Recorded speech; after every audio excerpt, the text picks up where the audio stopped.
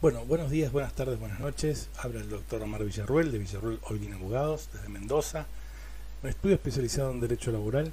así que cualquier pregunta se pueden poner en contacto en comentarios. Bien, hoy lo que, lo que queríamos hablar era sobre digamos, la prórroga del decreto, o mejor dicho, sí, la prórroga de, la, eh, de pago de, indemnizaciones con un porcentaje, en este caso era la doble indemnización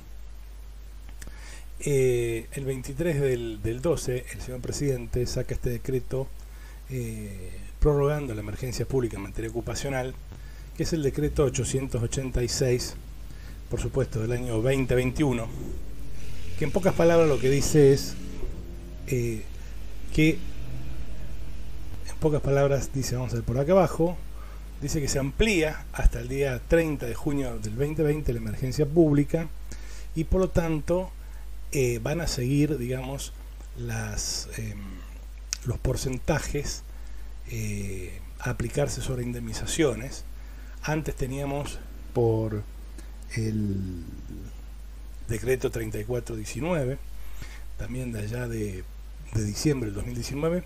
hablábamos de la doble indemnización, es decir, que si ustedes por eh, cualquier tipo de indemnización, ya sea todas las indemnizaciones, indemnizaciones por antigüedad, indemnizaciones por falta de preaviso, la integración del mes de despido, eh, si sumaban, por ejemplo, 300 mil pesos, bueno, entonces tenían que abonarle además el artículo 34, que era la doble indemnización. Lo que hace ahora el presidente es que hasta el 30 de junio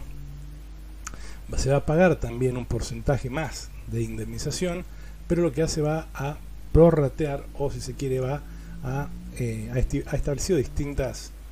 distintos este, porcentajes eh, de montos sobre las indemnizaciones. Vale decir, antes era el 100% de las indemnizaciones, ahora va a ser el 75% del monto de las indemnizaciones desde el 1 de enero del 2022 hasta el 28 de febrero del 2022, es decir, todo enero y todo febrero. Si ahí se produce algún tipo de despido, habrá que pagar el 75% de estas indemnizaciones legales de la ley 20 744. Eh, en el caso de que eh, durante el periodo del 1 de marzo hasta el 30 de abril, otros dos meses, va a ser del 50%, ya no del 75%, y, desde, y del 25% del 1 de mayo del 2022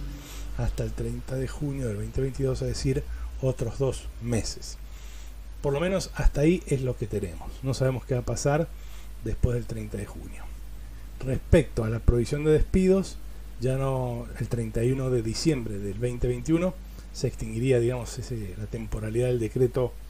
del decreto 413 del 2021, por lo tanto, a partir del 1 de enero se puede despedir de personal, se puede despedir personal, este, porque ya ese decreto, digamos, de la prohibición de despidos ya no va a estar más, pero sí hay que tener en cuenta entonces que están estos porcentajes